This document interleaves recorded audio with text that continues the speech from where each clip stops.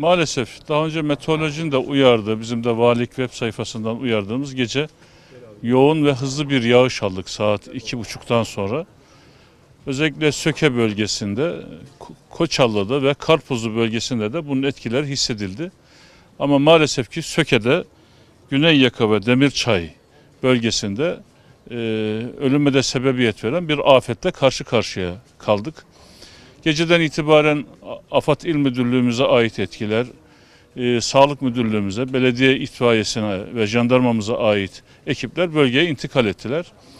Bölgede maalesef ki şu ana kadar iki vatandaşımız ölü olarak bir aracın içerisinde e, bulundu.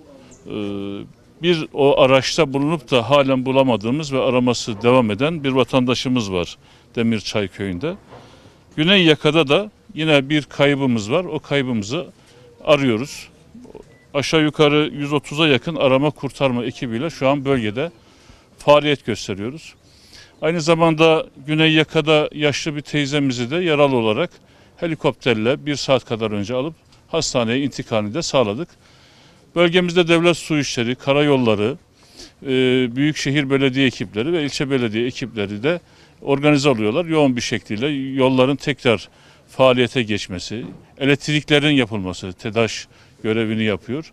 E, elektriklerin verilmesi ve diğer aksayan hususlarında e, tekrar işler hale getirilmesi konusunda ça- çaba sarf ediyoruz. Büyük geçmiş olsun.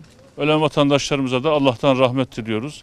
İnşallah aradığımız vatandaşları da sağ salim e, bulmayı ümit ediyoruz. Geçmiş olsun.